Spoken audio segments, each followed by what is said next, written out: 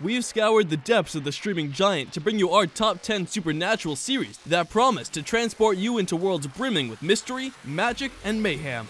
So, get ready to be enchanted by tales that blur the line between reality and the extraordinary. Your waking world is shaped by dreams. Dreams and nightmares that I create and which I must control. Sandman follows the story of Dream, the personification of dreams, who, upon escaping after decades of imprisonment by a mortal wizard, sets out to reclaim his property. Throughout the season, the focus was on developing Dream, who is a character that doesn't always listen and does what he pleases. He's confident in his power, but he also realizes that his decisions may not align with others' dreams over time, and under certain circumstances. He's self-aware of the consuming power he holds. I appreciate how the story slowly shifts and moves from one aspect to another while maintaining a high level of detail. Lastly, I liked how they introduced the different entities and their desires and pleasures. Each one was unique, and their intentions were portrayed extremely well. Personally, I enjoyed the series. It has magic, a compelling story about desire and destiny, and it explores the hopes and dreams of its characters. I recommend giving it a watch. Have sweet dreams!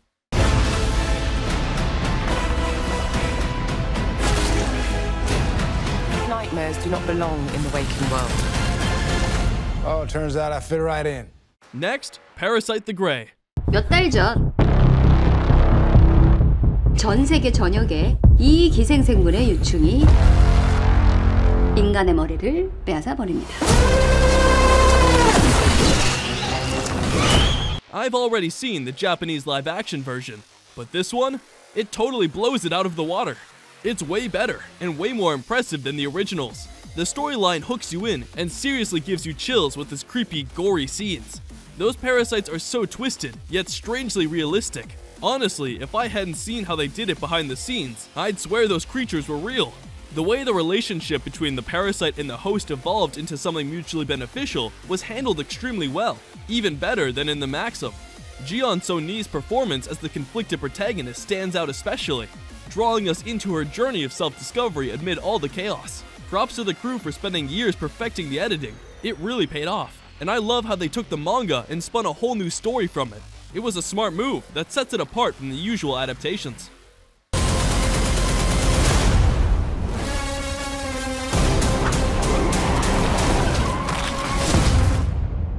결국 너랑 나랑은 함께 살아갈 수밖에 없어. Locke & Key is outstanding, subtle, and mind-blowing dropping hints that leave you craving for more episodes.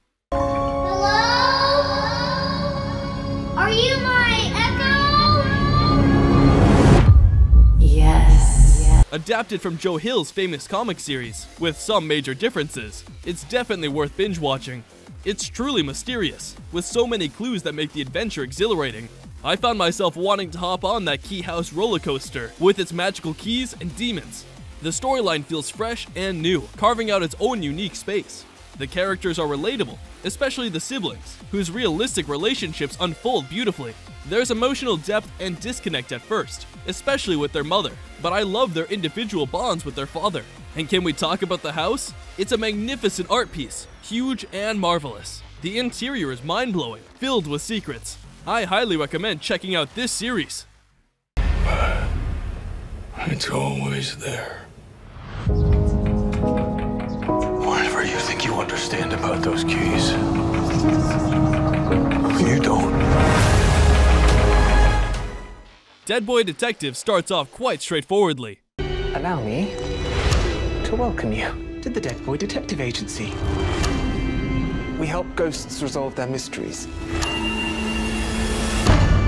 Ghosts who cannot let go.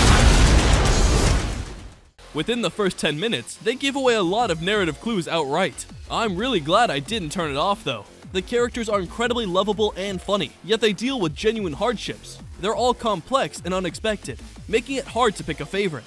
The depth of friendship between Charles and Edwin, and how it evolves with the introduction of Crystal and their journey outside of London is absolutely brilliant. There's a comforting campiness to Dead Boys that softens the grittiness often found in adult fantasy shows, which usually turns me off from the genre. It's everything I wanted in a show and more. If you get the chance, definitely watch the show. It's worth it. Even if it's scary, and the odds are bad, and we might die horrifically. Niko, that was amazing. Thank you. oh, did you guys know zombies are real? The Magicians is one of my absolute favorite shows in the genre on Netflix, based on my all-time favorite book series. Let me start by saying, if you've watched the show, you have to read the books. And if you've read the books, you have to watch the show.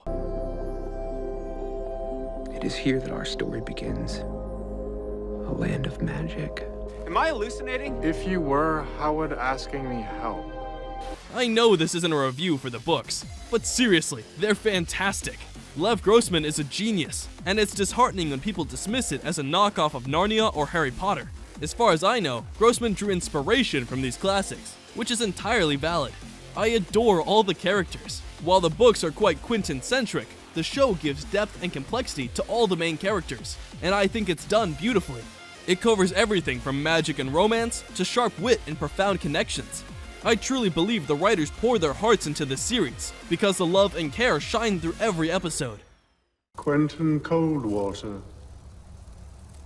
There you are.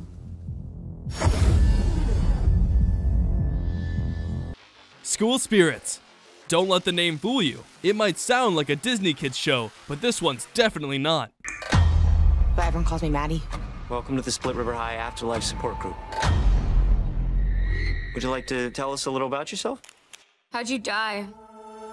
When I started watching it, I had pretty average expectations, thinking it might just be another high school drama to kill time. But boy was I wrong. It turned out to be incredibly gripping and addictive. I ended up binge watching the whole thing in just two days. I was also worried it might be cringy like Riverdale, given it's a supernatural teen show, but it kept things simple with its concepts. It stayed true to its theme of afterlife and the dead versus the living, making it really fun and interesting to watch. I appreciate how diverse the characters are, like the jock from the 80s, the gay boy from the 90s, and Claire, the popular girl. The plotline about Maddie's mom struggling with alcoholism added depth too. Among all the whodunits, this series stands out all on its own. Maybe it's a good thing you don't remember.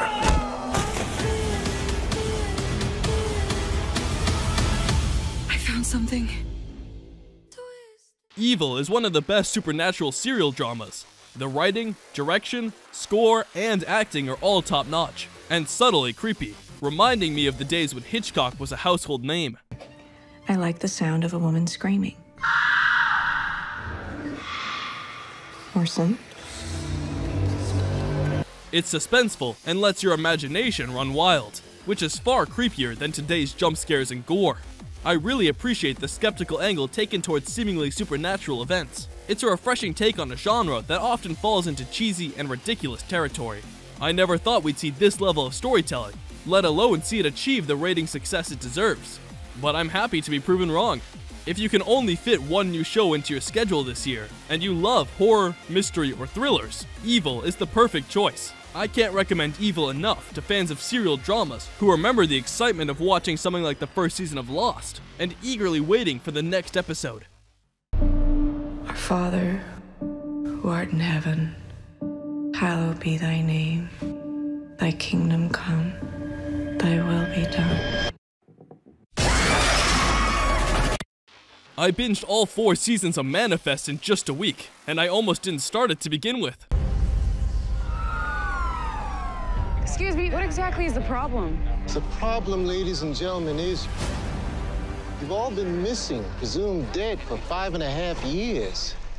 Seriously, this show is so worth watching. If you're looking for something different and intriguing, look no further. I appreciate how the story is so diverse. They don't limit themselves to just scientific explanations, but also delve into mythology and religion, which is refreshing to see. Even if you're not very religious, you'll still enjoy the show. Trying to merge science and religion alone is not an easy feat, but I think it's handled very well. I know that was one of the showrunner's main goals from the beginning, so consider it mission accomplished. No one can explain what happened to us. Some people called it impossible. Others called it a miracle. All I know is whatever force brought us all here had no interest in being investigated. This was just the beginning. As someone that hasn't read the books, I can say that Lockwood & Co. does a fantastic job of gradually introducing viewers to its world. It's terrible the world's come to this. Each episode reveals more about the setting and the unique personalities of each character, making it easy for anyone, even those unfamiliar with the source material, to get fully immersed in the story. I was thoroughly impressed by the show and highly recommend it to others. The plot kept me on edge with plenty of unexpected twists, which I found quite refreshing.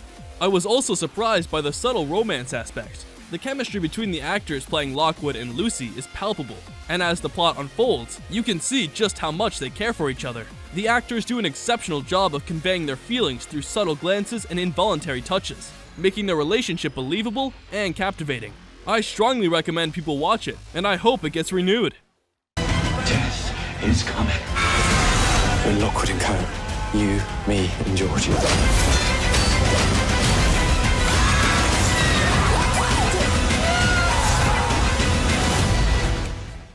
My friend loved Uncanny Counter, and he's never watched anything with subtitles before. He usually hates them. So, when someone who dislikes subs enjoys a show with them, you know it's worth watching. 아기들이 인간 세상에 내려와서 살 수 있는 방법은 살인, 그 영혼을 먹는 거야. 형! 정신 차려!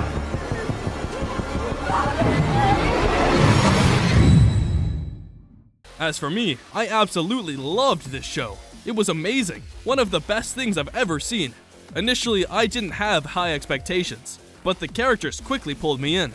You can see each character develop throughout the show, especially So Mun and Hana. The ending caught me off guard because of something So Mun said to his friends earlier. No spoilers here, but it was still great.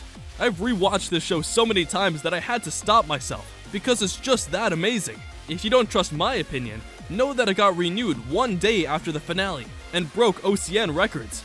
If you're a big fan of fantasy or the actors, I highly recommend watching this show. 친구 때리지 말라는 게 그렇게 어렵냐? 곡절로 갚아준다 경고했지! 악기보다 더한 놈들이 있어. So, what do you think of our picks? Do you think we missed out on anything? If so, let us know in the comments. Also, if you agree with our picks, make sure you hit the like and subscribe button and share it with your fellow cinema enthusiasts.